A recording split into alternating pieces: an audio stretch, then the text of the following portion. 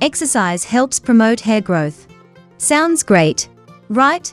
Yes, there are several exercises that promote a healthy hair growth with absolutely zero side effects, including the facial and scalp muscle exercises. These exercises not only help your body, but also have a positive effect on your hair, because they increase blood flow to your scalp and help hair regrowth. In this episode, we will discuss the top 6 exercises for hair growth, which can actually delay or prevent the onset of baldness, both in men and women. Now, let us start these exercises one by one.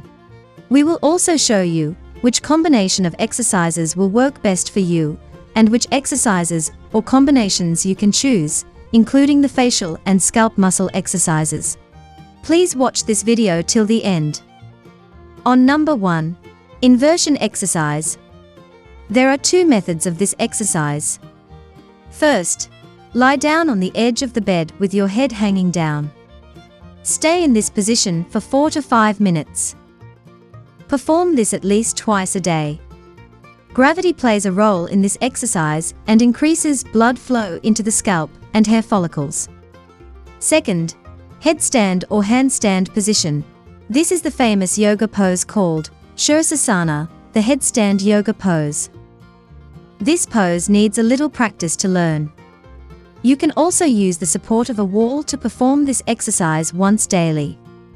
But initially, you should start to stay in this pose for one minute and then gradually increase the duration.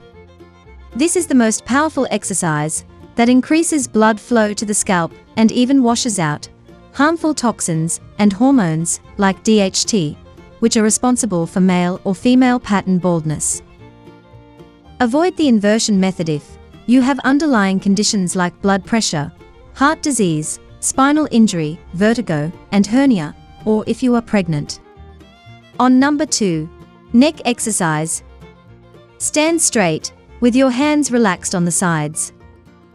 Now, slowly bend your head forward and bring it back, extending it as much as possible. Then bend your head sideways, stretching on each side, for at least 10 seconds. Stretching your neck muscles releases the tension and stress in the neck and scalp muscles. Following this neck exercise, for twice a day, for at least 5 to 10 minutes, can improve blood circulation, which in turn boosts hair growth. On number 3. Head massage.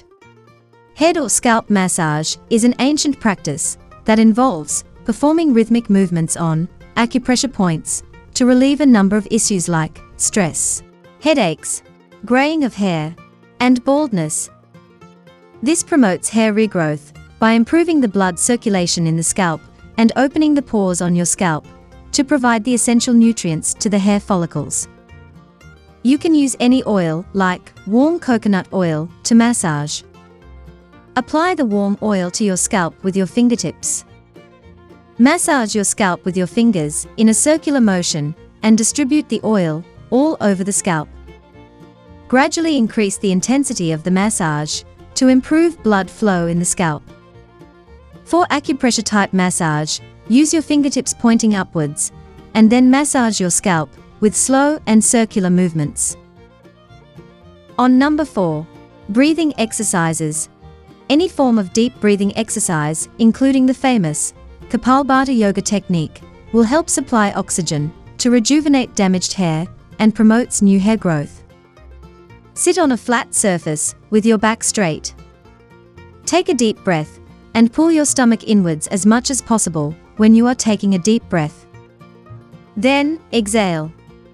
You can exhale with one nostril at a time, but this is optional. Keep the exhalation brief and the inhalation longer.